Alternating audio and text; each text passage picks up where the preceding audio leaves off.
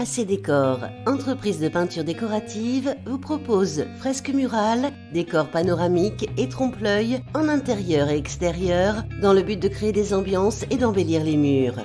Amandine répond à votre demande que vous soyez particulier ou professionnel.